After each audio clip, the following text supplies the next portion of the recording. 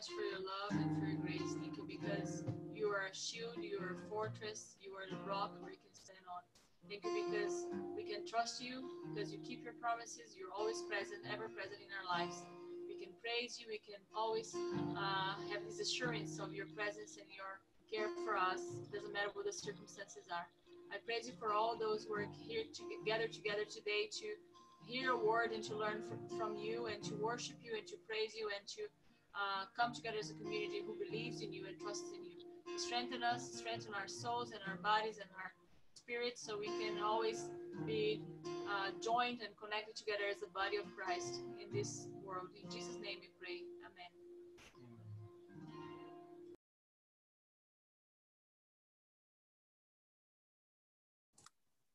Amen. Amen. Uh, praise the Lord. Thank you so much, uh, Denny and Celinda, for leading us in a time of worship. Uh, these are songs which I, I used to really like, and we used to sing in our church as well. Uh, once again, warm greetings uh, and praise the Lord to everyone who has joined uh, this session. How then shall we live? By God's grace, we uh, we will be we were able to be together for the last six weeks, and this is the seventh week uh, that we are together and God has been speaking to us. I believe God, you know, personally, it was a great blessing for us. And I believe God has been speaking to us as well. So uh, tonight we're going to, as we uh, continue to uh, look into this Colossians chapter 3 and verse 1 to 2, it says, Since then you have been raised with Christ. Set your hearts on things above, where Christ is seated at the right hand of God. Set your minds on things above and not on earthly things. We've been looking at this theme, uh, at this theme, as to set your mind on things above. Over the last few weeks, we have been very intentional to fill our minds with the eternal things. We've been looking at uh, the two uh, ways that people die and what is their, uh, what is the consequences of that dying in sins and going to hell. What is what happens there? And then people who die in the Lord, you know, they go to heaven and what happen, happens there. Uh, and then we looked at uh, who goes to heaven, the condition of people who are in heaven we looked at all those things And so uh, we've been uh, looking at what are the things which are uh, that, uh, which are above, and we were we were trying to see how to set our minds on things above. And I believe it has done us all good. Now, a very important question. Now, we have tasted how powerful and how valuable it is to set our minds on things that are above. But one question is in all our minds is how can we keep it up? You know, it's not uh, just a one-off uh, event. How can we keep our mind on things that are above, and how can we continue to nourish our own soul by fixing our mind and fixing our heart on the joy of future life with Jesus Christ? That's a very important question. So this is not supposed to be just a Bible study, you know, which came out of the air. Okay, let's do it. Let's, uh, you know, listen to it. And that, that's not the whole intention or the whole idea of it. But we, since the Bible has commanded us, since the Lord has commanded us to do so, we're going to look at how we can do this thing, how can how we can set our minds. Again, Colossians chapter 3 and verse 1 to 2, again it says, So if you have been raised with Christ, seek the things that are above, where Christ is, seated at the right hand of God. Set your mind minds on things that are above, not on things that are on the earth. Now, we all know Christ was, Jesus Christ was crucified. He, his body was taken down and he, he died and his body was taken down, uh, taken down and put, put in a tomb. And, uh, but on the third day, the life of the Son of God, the Holy Spirit came and, you know, he rose again on the third day and his body was wonderfully changed that day. And here in Colossians chapter 3 and 1 and 2, uh, Paul is telling us now, if you are a Christian, if you believe, if you believe that Jesus Christ died for you and you are his child, and if you're a Christian, the life, the very life, the resurrection life of the Son of God, Jesus Christ, the very power which raised Jesus Christ out of the dead and made him alive, and he is alive forevermore. That same power, the, the same life of God has come into you. And that's why he's speaking of being, uh, you know, raised with Christ.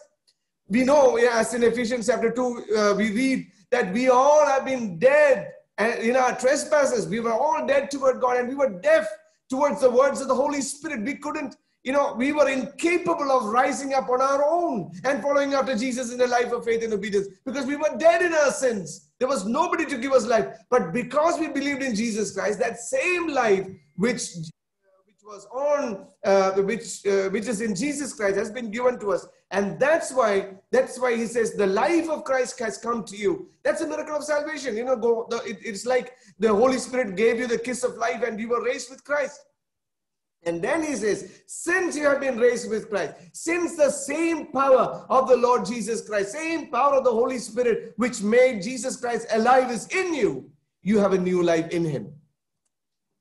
Because of that, we have all that he has purchased, all that Jesus Christ purchased on the cross belongs to you and me. What are they?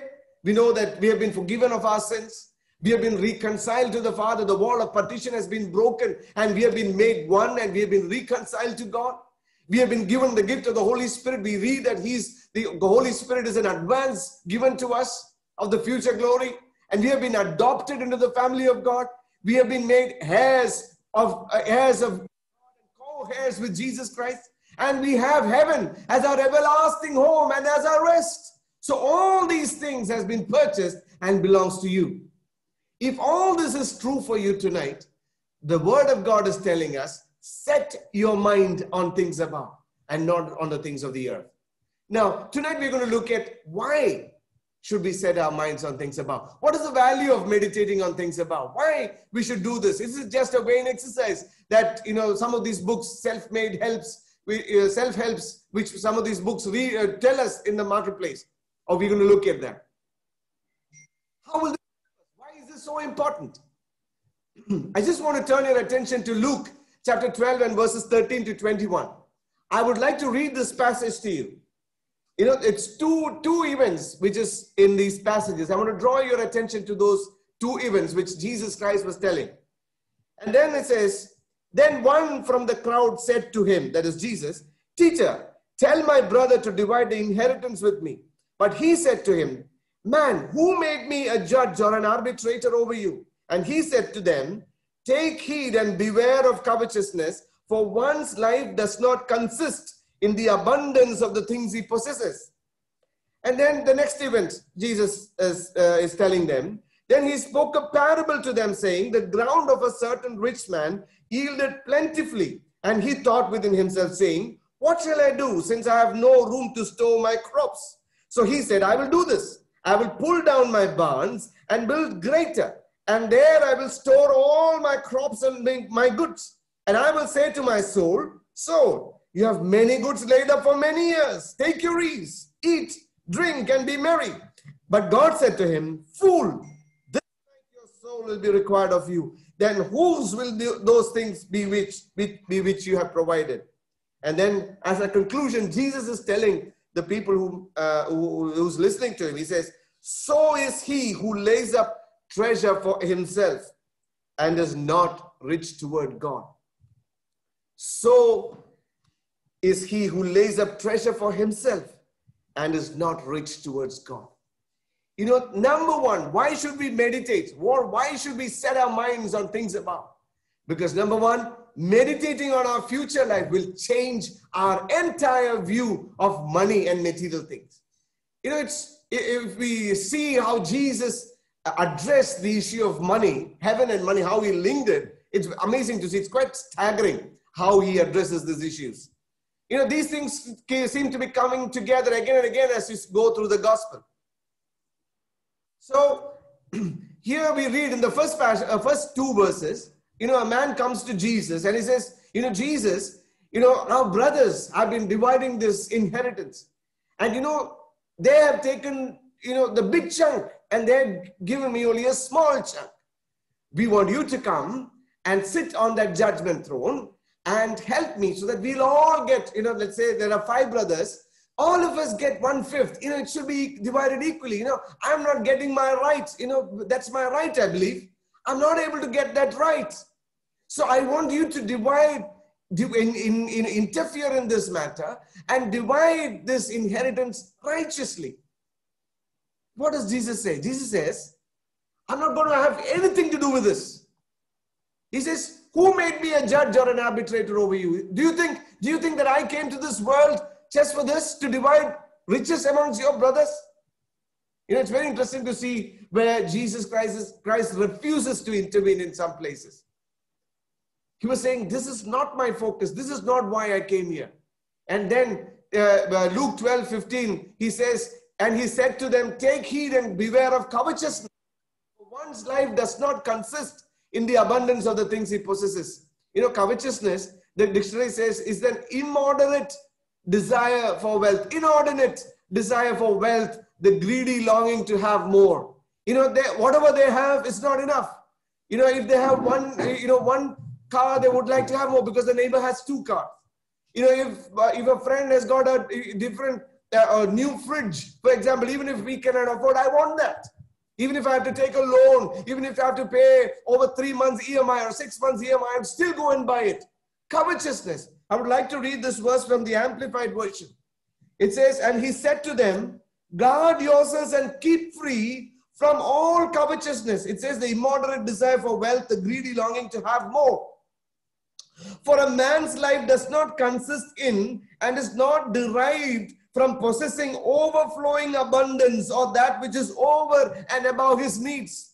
God will always provide for our needs. In Philippians chapter 4, he says, God will provide all our needs according to the riches of his glory in Christ Jesus. He will not provide for our greeds. He will provide for our needs. Anything over and above our needs, we are coveting. We are, you know, it goes into an area of greed and covetousness. So he says, beware, take heed. And then he goes, you know, from verse 15, 16 onwards, he takes the, he tells a story, the parable of uh, the, the, the, very successful businessman. He had a he had a bumper crop that year. You know, he he he, might have so, uh, sowed or, or uh, harvested maybe hundredfold. We don't know, but he had a bumper crop. And you know, when he when he harvested the crop, he didn't have place to store it in, in his barns. The barns were very small for the harvest. So what did what does he say in his heart? He said, I'm going to pull down these barns. I'm going to build new. I'm going to store all those. And you know, I'm going to live. This is all that I want, you know, for my years. And he's got his, you know, uh, retirement plan all set up. I've got my social security all tied up. Or people in the US, as they say, my 401k is all done. Or as in India, we say, my retirement, you know, my pension is all done. You know, I've put a lot of money in fixed deposits. You know, all, everything is planned out. This is, this is the dream that I was li- living for. And I and my wife and my children, we're going to travel. We're going to do this and do that and all that. He was a very successful, organized businessman. And he was a very good planner as well. But there was a problem. He was not thinking of the things that are above. How does Jesus say that? He says, God says, tonight, if you're going to die, or let's imagine that one night he died and God, God is saying, You're a fool. You know, all of us want to go to heaven one day and say, We want to listen to that uh, words from Jesus. Well done, good and faithful servant. But imagine when we go up to heaven, imagining or thinking or expecting that God is going to give us a warm welcome and say, Well done, good and faithful servant. And then we hear the words, You fool. What will our reaction be? He never ever thought of things that are above. He was only focused. His only thoughts were the things of the earth. You know, what is the height of folly? To live for the things of the world and neglect being rich towards God. You know, there's nothing wrong being a good, successful businessman. There's nothing wrong in having money. There's nothing wrong in giving, uh, living in a good house. There's nothing wrong in driving a good car. But when you neglect the things which are above, and when you're only focused, and when, when all your efforts are only for being rich in this world, that's when it gets into a problem. God calls us a fool. Is your life today? Are you trying to be rich towards God? Or are you trying only to be rich in this world? You know, a few weeks back, in one of the sessions I told you, we went to one of the medical colleges in, in, in India, a, a, a missionary medical college for a youth camp. And, you know, the main speaker, he was asking, what is your desire? You know, the, all these are children coming from, you know, different churches, you know, all Christians. Maybe some of them were pastors and all that. But then uh, pastors' kids, and they have grown all their all their life in churches, and you know, not one of them, unfortunately, not one of them told that they want to take the gospel to an unreached place or be a missionary doctor. Or I want to share the gospel wherever they are. They are, you know, the, the, I still remember one person said, "I want to be the CEO of the Disney World in Florida." How is your life today? What is your goal? What is your aim? Where are you investing your time? Where are you investing your treasures? Where are you investing your talents? What are you are you trying to be rich towards God or only towards this world? And that is why Jesus says in Matthew chapter 6 and verse 19 to 20, do not lay up for yourselves treasure treasures on earth where moth and rust destroy and where thieves break in and steal, but lay up for yourselves treasures in heaven where neither moth nor rust destroys and where thieves do not break in and steal. He told us very clearly we have to be rich towards God. Jesus is telling that, you know, the more that we invest on things here on earth, you know, our heart will be tied to the things below. More and more we'll be tied to the things which are uh, below. So he's teaching us that we have to be we have to learn to be rich towards God. That's what Jesus is telling us. So the more that we invest towards Jesus' work on earth, the more your heart will be connected to Christ's home in heaven. That's where we want to go. You know, I like this analogy which Thomas Boston says. It's a, it's a very powerful analogy. It tells us in a very, it puts us all in a beautiful perspective. He says, this life we are all actors. You know, it's like we are all actors in a theater. You know, we are on a stage in a play, and all of us have a particular part to play in the story. Let's let's say that you know I've got uh, the part of playing the prince. You know, I've got the best robes on, you know, maybe the crown on. I've got people coming and helping me out. Beautiful dress, you know, maybe a sword here, and you know, all those pomp and glory. That is what that's the part that I've been designed to play. And let's uh, let's imagine Denny, you know, who uh, who led us in worship before. Let's say that you know he's been given the uh, the part of playing a pauper in that whole play. You know, he's got the ragged clothes on, all holes, and you know, very uh, stingy and very dirty and torn and all that. And his face is put with mud and all that, just to make make an appearance that he's a pauper. And what do we do when we on the when we are playing when we are uh, acting in the play? We put these clothes on, we go onto the stage, and we uh, we play all these parts. And then once the play is done, what do we do? We go to the backstage.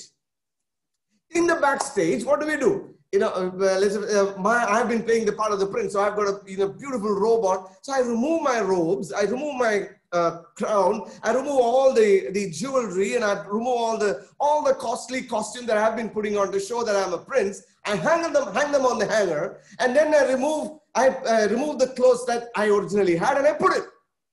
And then Pauper, Denny, who was playing the Pauper, he will also remove all the, you know, the bad, stingy, dirty clothes and all that. And then he will take his own clothes and we put our, our you know, hands over each other's shoulders and we walk out of the back door uh, into the road. That's the real world. That's the real world. Now, what difference does it make that one got to play the part of the prince and other the pauper? You know, when both of us leave the theater, they go into the real world, and what matters is not what they were on the stage for a short period of time, but what matters is who they are out there on the, on the main road. We were there on the stage maybe for half an hour or one hour maximum. After that, we are all we have gone out. That's the real world. But you know what the problem is? When I put on the robes of the prince, I think that this is the real world. I think I am a prince. I deserve all the glory. I deserve all the praise of men. I desire, I desire that everyone should bow down to me. Imagine that, you know, when I go out into the real world, I still think like that. Jesus says, no. Everything here is passing away. This is a short time. We are just on a stage for a short while to play the roles which God has given. The real world where solid riches and joy are in the world are is the world which is to come. And so set your heart and minds on the things which are above. That's what Jesus is telling. We think this is where all the action is, and this is where we can earn money, and this is where we can enjoy, and this is the real world. This world is only a passing shadow, however real and solid the stuff of this world feels. You might be living in a 32 story building, but your, there, there is a time when we have to, we have to leave this world. We have not, as, as Paul says in, in, in one of his epistles, he says, we have not brought anything to this world and we will not take anything from this world either. A Job says, naked did I come to this world and naked will I go. Death is a great equalizer. No matter how rich or how poor, we will all have to leave this world one day. We'll have to leave the stage one day and then we will go into the real world. Then we will go out there in the real world. You have to understand that what lasts is only in heaven. So, why be envious of a brother who has more than you do? You know, maybe I've got only, you know, 10,000 rupees salary. Somebody might have 10 lakhs. Why should I be envious of him? He's just playing this role for a short time on this earth. Then I and him, we will both go into the eternal place where the real world is. And then we will see why, did, why does it matter to us if he, for a very short time, got in this play on earth to have the role of a prince, whilst I had, a, I had to play the role of a pauper? What difference does that make? What only thing what matters is that you and me will have treasures in the real world that will never pass away. Denny, who let's say imagine Denny who played, played the pauper. Pauper, he had he's got a mansion outside, you know, and I'm living in a in a shanty town you know, outside. And then, you know, just because I, for a short time here on, on the stage, I played the role of a prince. Just imagine that, uh, you know, I, I uh, uh, try to think, think uh, over and above myself and, you know, try to rule over him. I'll be a fool. That's why God calls that person a fool. Meditating on your future life will change your whole outlook in regarding to the material world and especially in regard to the money. You know, no matter how great riches we have, we will have to leave and then we will have to go. So set your mind on things above and not on earthly things. Have the correct perspective of material things. Have correct perspective of money. Have correct perspective of this worldly pleasures. How God sees us. Number two, if we set our mind on things above, uh, you know, meditating on our future life will give us strength to endure. We are all, none of us, you know, I, I know different, all of us are going through different struggles. All of us are going through different problems in our life. You know, uh, as we say in Malayalam, ah, Tadibaram, you know, uh, the elephant has got his own struggles and the ant has got his own struggles. We all are going through different struggles. But what is what gives us strength to endure all these struggles is the meditating on our future life. You know, when we read in Hebrews chapter 12, the second part of verse 2, you know, we read about Jesus. He says, it says, because of the joy awaiting Jesus, he endured the cross. One of the most horrific deaths that anybody could ever die. He was mocked. He was beaten on his face. His beard was pulled out. He was beaten on his face. He was spat upon. His back was beaten with whips from both sides. He was uh, uh, allowed to, uh, he was made to carry that heavy cross all the way up to Golgotha. Then his hands were stretched and they were nailed to the cross. His feet were nailed to the cross. His side was pierced. He, he, you know, he went through the most, most torturing death that anybody could ever die. But he endured it. Even at those most torturous moments, he did not find a moment to curse his persecutors. He didn't find a moment to, to have bitterness against them. Even at that point, he was saying, Father, forgive them, for they do not know why, what, what they are doing. He had words of forgiveness. He had words of uh, kindness. He had words of comfort. Even at the cross, he was giving his mother, uh, Mary, his mother, whom she, whom who gave birth to Jesus, said, "Behold your son." He pointed her to John, and John to John he said, "Behold your mother." Even at that point, he was taking care of your of his mother at that time. He endured the cross. Why? Because of the joy awaiting for him. What was the joy? He's seated in the place of honor beside God's throne. Last week we saw about eh, about Revelation chapter 7. You know, when Revelation chapter 7 and verse 9, we saw, you know, innumerable angels, innumerable people from around the world, Gentiles and Jews together, standing around the throne, worshiping, say, worshiping him and saying, Salvation is because of Jesus Christ, the Lamb of God, and because of God alone. The whole worship, the elders were falling down and laying their crowns the, at the feet of Jesus, and the and and the creatures and the angels and the people who were redeemed by the blood of the Lamb. They were worshiping together. Even at the cross, he was seeing them and he endured it. The most painful and most horrific and most torturous death he endured because of the joy awaiting for him. When did he have the mind on the things above? Throughout his life, but supremely when he came to the agonies of the cross.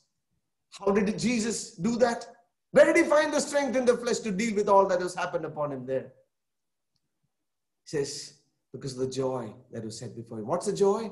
The joy that is coming in heaven. I believe, you know, when, when he will see that event, which is mentioned in Revelation chapter 7, you, you know what joy will be on his face. Hallelujah. Hallelujah. That time he will, you know, he will, he will I, I don't know I'm just imagining, I don't know, maybe he will cry. Seeing all of us, hallelujah, one by one, millions and millions from around the globe, from the different continents, tribes, languages, nations, tongues, all coming together in, as one, as one, as one children of one Father, redeemed by the blood of the Lamb, singing hallelujah to the Lamb. Hallelujah. That, that's the joy that he saw while he was on the cross. Brothers and sisters, my friends, you know, when we meditate upon the joy that we're going to have in heaven, it will help us to endure the, the, the struggles and the pains that we are um, that we that we are going through whilst on this earth. You know, but the Bible keeps you know telling us, focusing us back again and again that, to show us how short our life is and how long the eternity is, and how great the joy that is waiting for us in heaven. So when we set our mind continuously on those things on the heavenly things, we get the strength to endure the difficulties, to gut out the difficulties that you're facing this week and this month. You know, Pastor Colin Smith, he shared about his experience when he was traveling. He was visiting his family in UK. His wife's parents were living in the south part of England, and they went. They took a car. They went to the south part of uh, England, and they visited them. And then they were going back to the north part of England to visit his parents, who were living up there. I think it's in Scotland or Ireland. He was going there, but because it was late in the evening, they had booked a hotel in London to stay the night, and then rise up in the morning and then go you know, we all know when we book a hotel over the night, we try um, uh, just for a night, we try to book one of those cheap things. And in those, eh, when we book, we have to pay in advance. So he reached there late in the evening, and as soon as he turned into the car park of the hotel, he knew that he was in the wrong place. He, there were very few people. It's a very dingy place, very stingy place, very, very dark, very, you know, uh, unkempt. You know, uh, for the last 40 years, nobody has maintained it, no paint work done. When he sat on the couch, it was creaking and squeaking, making all sorts of noises. It was smelly. And he carried all the cases up to the uh, up to the room, and he was, you know, uh, walking across the room and complaining. He said, "Why did we choose this? And why did this and that and all that?" And his wife, his beloved wife, said, Honey, just sit down. Just sit down. Just calm yourself down. It's only one night. It's only one night. That's what's going to make all the difference. Hallelujah. It makes all the difference in our perspective. When we are going through this life, when we understand that this is a, only a fleeting moment, just like in Second Corinthians 4, 4 16, 4 17, this light's momentary affliction is preparing us for an eternal weight of glory beyond all measure. That gives us the strength to endure. It's only for a short moment. So how do we keep going when it's really tough? Second Corinthians 4, 16 and 17, it says, How hard your affliction is. It is just momentary. We need to understand that. In the light of eternity, it is just momentary, just like this compared to the time, the joyous time that we're going to spend with Jesus. So the momentary affliction that we have here on the earth is preparing us for to receive the eternal weight of glory beyond, beyond all comparison. We don't lose heart because we do not look at the things which are seen but on the unseen because what is seen is it's not eternal. What, what is unseen is eternal. So we, we believe, we understand that we are going to be in a better place tomorrow. When Jesus comes back or when we die and go to heaven, we'll be in a better place, much better place tomorrow. So set your minds with things that are above. Fill your mind and heart and minds with your eternal home. It will not only change our thinking regarding this material world, it will also give us strength to endure the toughest things in our life. Third thing, it will motivate us to holiness. It was, you know, when we read Colossians chapter 3, verse 1 and 2, we read that, um, you know, set your minds on things above. Then it continues down to verse 5. It says, Put to death, therefore, whatever in, in you is earthly, fornication, impurity, passion, evil desire, and greed, which is idolatry. You know, the church in Colossae, they were a young church, very active church, but the, the very force of temptations of sin, you know, they had this question in how do I deal with the lust of the flesh? How do I deal with all the sinful thoughts which are coming in? How do I deal with the temptation that I'm facing daily? How do I handle that? All the stuff that is going on inside of me. And you know, being you know a big city, they all had plenty of suggestions, always plenty of ideas. Chapter 2 gives us, you know, from verse 21, we see some suggestions as to the type of books that were available then. You know, it says, do not handle, do not touch, do not taste. Verse 21 to 23, do not handle, do not taste, do not touch. All these regulations refer to things that perish with use. They are simply human commands and teachings. These have in need an appearance of wisdom in promoting self-imposed piety, humility, and severe treatment of the body, but they are not of no value in checking self-indulgence. They are good things. They're not going to be sufficient to deal with the stuff that is going on in your heart. There's no material cure for spiritual ill. Imagine somebody is having an ulcer in his stomach and he's having pain. He's not having to eat, not able to eat anything. You know, ulcer is growing bigger and bigger, and he's going to the doctor, and he says, he gives him, oh, it's okay. You take one painkiller, one one uh, paracetamol, you, you will be fine. Treating from the outside massaging the stomach, that will not help cure the ulcer. You have to look at it, what is happening, and then if surgery is needed, surgery has to be done. Proper treatment has to be given. Just like that. There is no material cure for spiritual ill. Our sinful nature has to be con- has to be dealt with. We cannot overcome sin by the power of discipline alone. It's not the law that changes the hearts, but the gospel. And so in Colossians chapter 3 and verse 5, put to death the sinful, kill it. Don't give an opportunity for it to come alive. Kill the sinful earthly things which is lurking inside you. So just to sum it up, here's the value of a person who has a new life in Jesus Christ and who's set on things about three benefits. Why we should think on things which are above. It will change our view of money and everything in this material world. Number two, it will give us strength to endure the tough afflictions, tough temptations, and trials which we are facing in this world. And it will motivate us to holiness. And we need to find ways to build it into our lives on an ongoing, regular basis. So set our minds on things above. If, if not, we'll be bogged down by this material world. We'll be consistently, you know, trying to thrive and go, go, uh, you know, in this rat race just to uh, be ahead of others, just to get, let, get the latest gadgets, just to get the latest fashion, just to get ahead of the people. We'll be consistently running behind that. We'll be bogged down. We'll be overwhelmed by the trials and difficulties of our life. We'll think, oh, how long it's going to last? This, this is never going to go away. We'll be tired, frustrated, and disappointed by this life. We'll not have joy in this life. If we don't set our minds on things above, we're going to find that the sheer power of temptation gets the better of us. We will not be able to conquer the temptations. So set your minds on things above. Some practical suggestions to set our minds which are on there. Some practical suggestions which I want to give. I want to introduce this uh, very uh, you know pious man who lived in the 17th century. He lied. He lived in um, uh, you know he died in 1691 if I'm not mistaken, 1615 to 1691. He lived for 76 years. But this man, he was a Puritan. He suffered a lot in his life. I'll just give you, you know, Jim Packer wrote about him, Dr. Jim Packer. He says he's a chronically sick Puritan. He was tubercular since teenage years, suffering constantly from dyspepsia. Dyspepsia is indigestion. Consistently, you know, having indigestion. He had kidney stones, headaches, toothaches, swollen limbs, intermittent bleeding at his extremities, and other troubles, all before the days of pain killing drugs. He had no pain killing drugs to alleviate the pain that he was suffering. How did he endure? You know, when we look at, his, at the description, we think, you know, he's not having a happy life. Yeah, that's what we might think of him. And, you know, he's, he was suffering from his teenage years, always struggling with wretched health. You know, imagine bleeding from the limbs.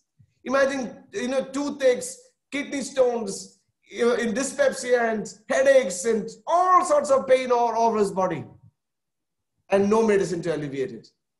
And if you go and ask Baxter, Richard Baxter, he says, I spend at least half an hour every day meditating on heaven. Half an hour every day meditating on heaven. That was his med- medicine. You know, and he began this practice at the age of 30 and he continued it till he died, till age 76. And, you know, Jim Packer, Dr. Jim Packer wrote about him. He says that cultivate, that habit, you know, which he cultivated gave him daily doggedness in hard work for God despite the debilitating effects of his thick body. And then uh, you know, at the end of his, or, when he, uh, at the end of his life, he wrote a book called Saints Everlasting Rest. And in the last part, he has devoted a whole last part. You know, if if you are able to, it's available free in the net. It's a little bit difficult language, but if you get time, just read it. The last part of the book, he writes about you know how to set our minds on things which are above, according to one two.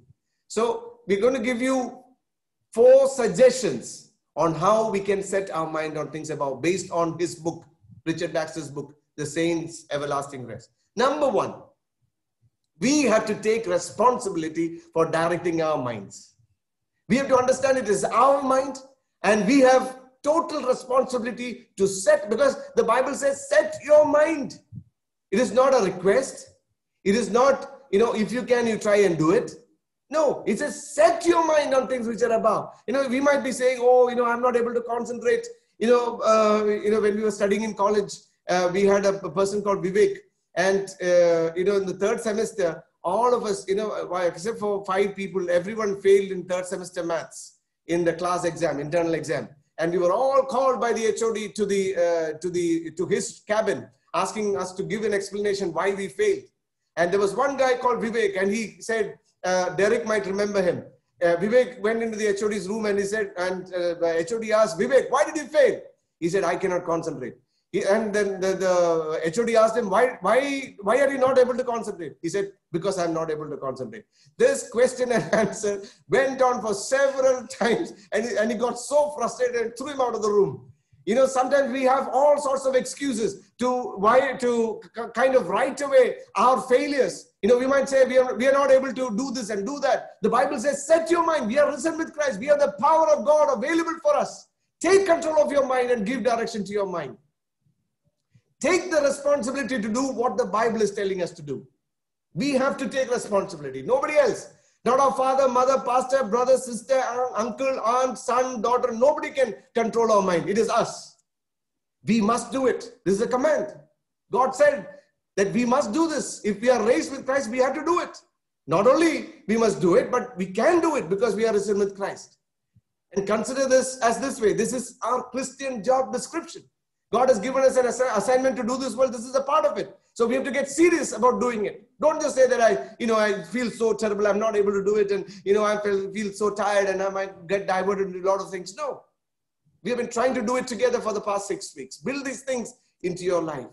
You know, sometimes when we want to exercise, and on a Sunday, for example, after church, we have had a good meal and we have a good game going on. Uh, let's say an IPL game going on, and we know we have to go out and do some job out of, out on out on the uh, the house. And we, we our body says not now. Let's let's eat some chips and let's drink some coke and let's watch this game. You know, Sachin Tendulkar, Virat Kohli is you know is on his full form, full blast. Let's let's see with, whether he gets a century or not. But we, what do we do when we realize there is a more important job? We tell our bodies, we direct our bodies. No, this is more, this is more important. We have to do this. We tell this and make it, make our body do this. So in that way, we have to take responsibility for directing our mind to set our minds on things above. Baxter uh, makes, makes this very shrewd. Really wise Christian will be aware of the work and the wariness of his own soul in the same way that a person is aware of his body. Are, do you, are you aware of this? Are we giving direction to the inner life? So, first one, set our minds, take responsibility of directing our minds to things of heaven. Second one is to learn the art of talking to yourself. You know, this is not what people do when they get mad. You know, people think that sign of is a sign of madness. It's not so. I'll explain. You know, when, you, when we read Psalms, it's all over in Psalms. You know, Psalms 103 says, Bless the Lord, all the church. It doesn't say that. It says, Bless the Lord, oh my soul, and all that is within me, bless his holy name. It's talk, he's talking to himself. You know, another Psalm, Why are you cast down, O my soul? And why are you disquieted within me? Who is he talking to? He's talking to himself. You know, Martyn Lloyd-Jones, a very respected theologian, he says, we get into difficulties because we spend way too much time listening to ourselves. We are always listening to our minds. You know, when the mind says, no, you cannot do this, we listen to it. When the mind, when the body says, no, you're too tired, we listen to it. We never go back and teach our minds. We don't enough take enough time to talk to ourselves, talk to our mind, teach our mind according to the word of God. Our minds need to be set and needs to be told as to where to go. You know, just like training a dog and bringing it to our heels, you know, our heart will always be a problem and we'll be wandering in different directions. That's how we are. It has to be said. We have to take control over our mind and we have to direct it where it should go. That's why every good Christian has to, you know, talk to our own soul. We need to learn how to manage our heart. You know, uh, he says an example of, uh, you know, which we are all understand. He says, you know, imagine you, you know, hire a youngster into your office and uh, you, you gave him a very special assignment to do in, in the office. And even after two days, you see that he's never sitting in his, uh, on his desk. He's wandering around. He's talking to them, talking to other people, you know, not allowing them to do their work as well. And, you know, he's not doing his job as well. What will you do? If you are the manager of that office, what will you do? Very obvious. Get him into the cabin. Is it, guy? I have, I have uh, you need to realize why you have been called in here. If you don't do the job, tomorrow you're out of the office. Learn to manage our heart. Persuade it to the work. Don't accept any excuses which, the, which our heart will tell, tell us back to us. Chide it, scold it, beat it for its backwardness. Bring it into the service whether it is willing or not. And take the complete authority which God has given to you and command your heart. If none of these things are working, if you feel too weak to do this, then call in the assistance of the Holy Spirit. Romans 8 26 says, The Spirit of the Lord helps us in our weaknesses. For we do not know how to pray, how we ought to pray. The Spirit of the Lord, with groanings, He prays on our behalf according to the will of God. The Holy Spirit is there to help us. So cry out, Oh God, help me. My heart is all over the place. I need to set my hearts on things above. And He will help you out. Number three, direct your heart and your will by exercising faith in God's promises. Direct your heart and your will by exercising faith in God's promises. You know, there's a profound biblical psychology right here when the you know, Bible says uh, this verse. Baxter says, let faith lead your heart as it were by the hand. You know, sometimes our hearts are not willing to follow the words of God. You know, let faith lead our hearts, as it were, by the hand.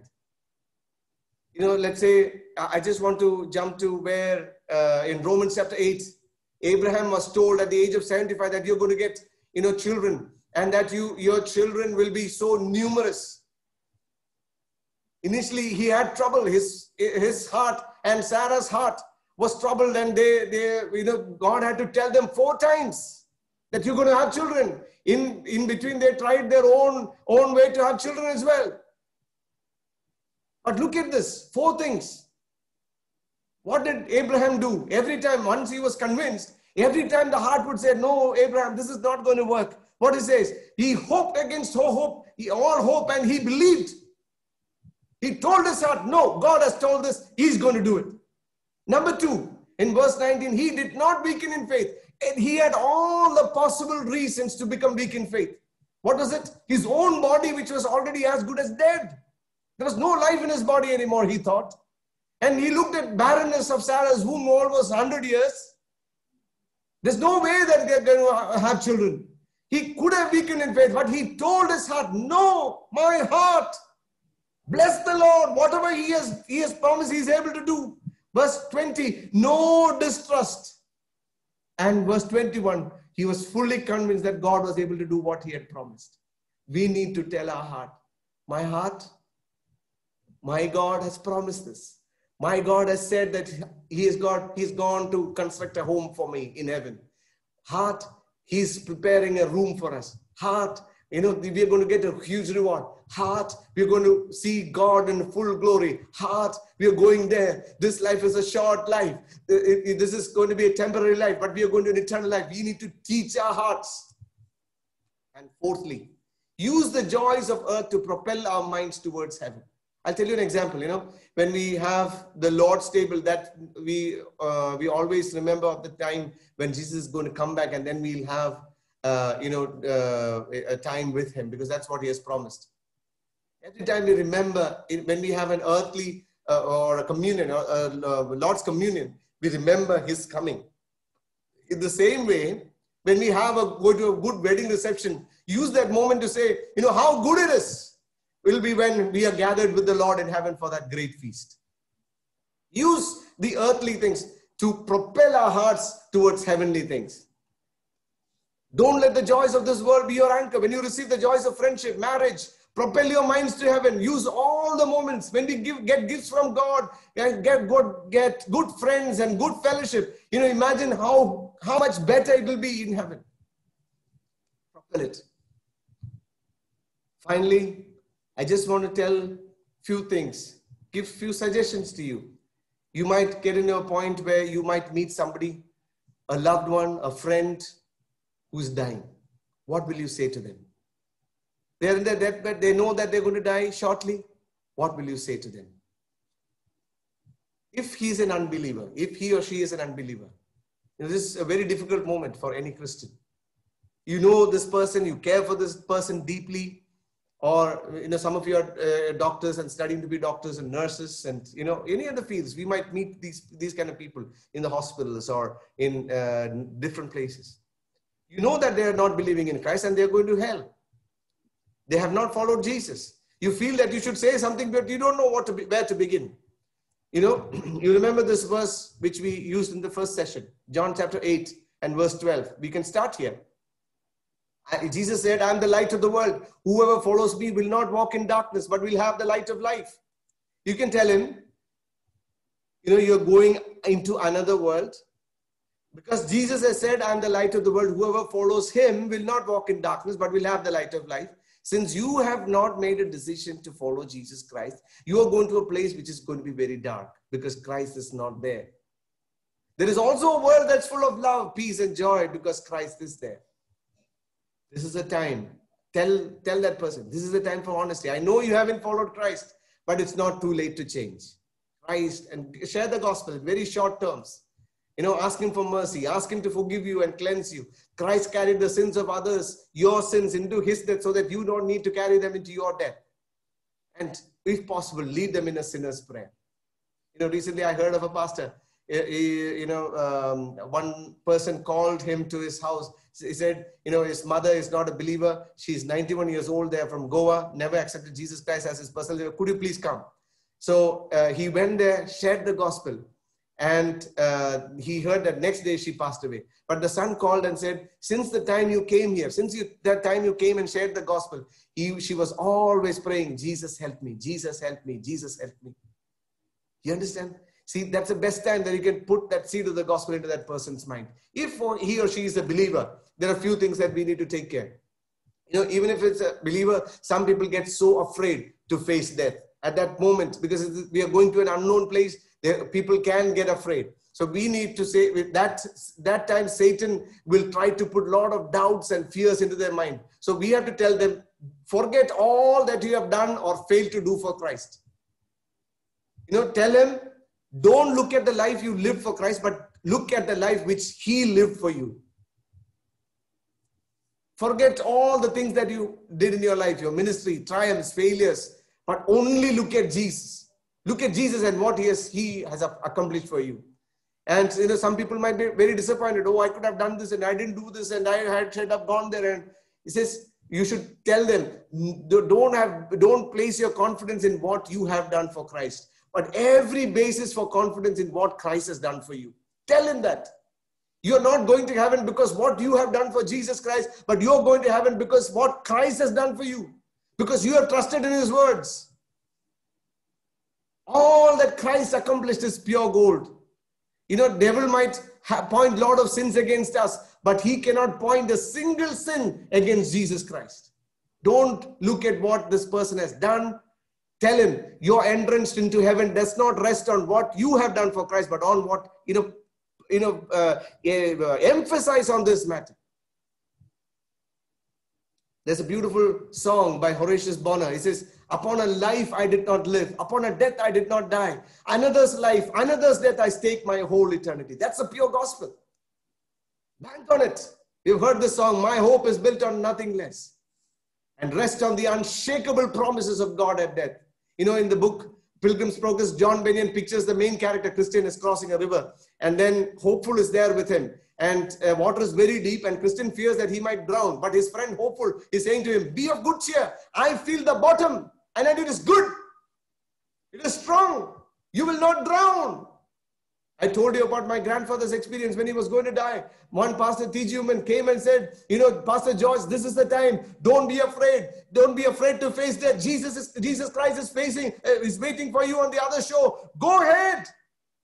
You know, after that, you know, he called all his children one by one and gave promises. He gave to the youngest son, he said, You know, son, he was only 17 years old at that time. He said, Son, you know, all my life, the bosom of God, Jesus Christ, was enough for me. And that same bosom is enough for you, my son. He encouraged each and every one before he died. So you can rest your life, your death, and your eternity on the unshakable promises of God. And count on the grace and presence of Jesus. You know, some people might be very fearful at death. Just tell them Corrie ten Boom's story. You know, uh, I told you this story some uh, some weeks back.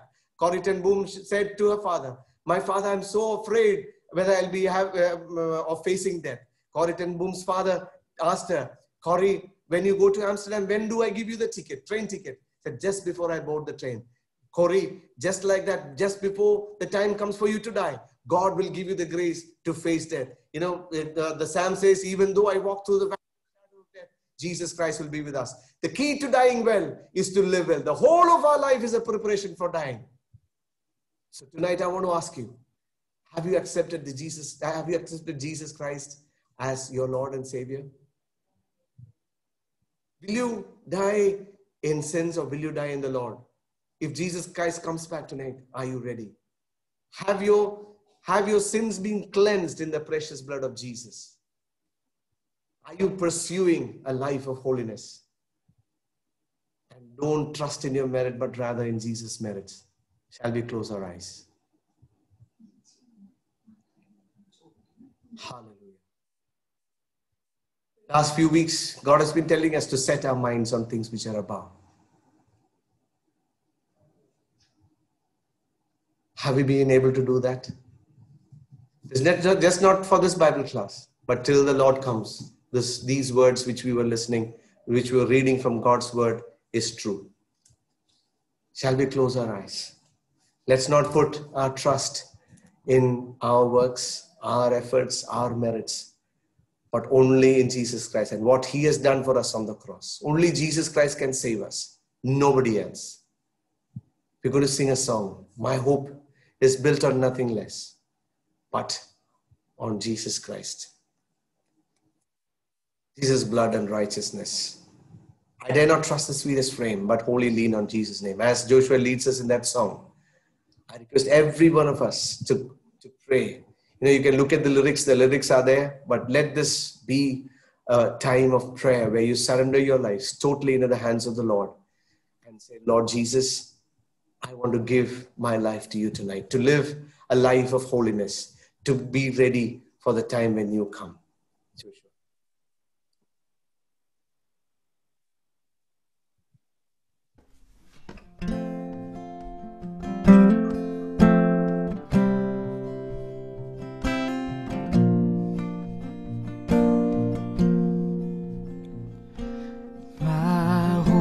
Is built on nothing less than Jesus' blood and righteousness.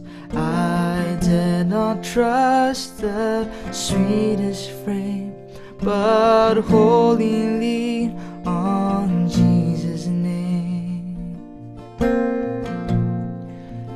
Oh, Christ, the solid rock I stand. All other ground is sinking sand. All other ground is sinking sand. When darkness veils his lovely face, I rest on his unchanging grace. In every high and stormy gale, my anchor holds within the veil. On Christ the solid rock I stand. All other ground is sinking sand. All other ground is sinking sand.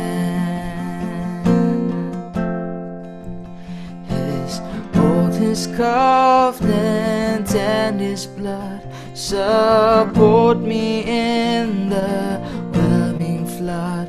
When all around me my soul gives way, he then is all my hope and stay.